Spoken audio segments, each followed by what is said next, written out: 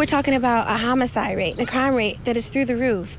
But my resident said yesterday, my kids finally have something to do. Metro Councilwoman Keisha Dorsey says the Algonquin Park pool is more than a safe space for District 3 residents. So when the pool was suddenly closed Sunday, she and her team immediately took action. The first was a phone call to Louisville's Chief of Community Building, Vincent James. He committed to one, making sure that the pool would be open as stated, too that they would send outreach workers to this community to make sure that people understood when the pool was open and that we would be providing consistency. Metro Parks and Recreation cited an unlawful and unsafe number of lifeguards as the reason for the closure. They say in part, quote, securing lifeguards for the summer swim season has been a challenge for a number of aquatic facilities, and they'll work to secure more. We've got a list of kids that are 16, 17, 18 years old who want a lifeguard.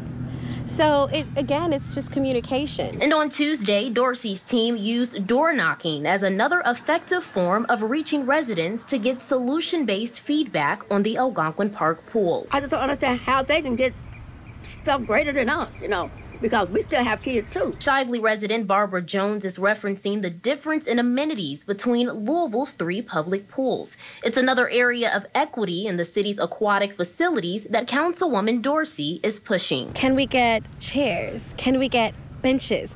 Can we get some shade and umbrellas? Dorsey says she wants three specific things to come out of this incident consistency, communication, and eventually a new upgraded pool for the park. There's so much potential.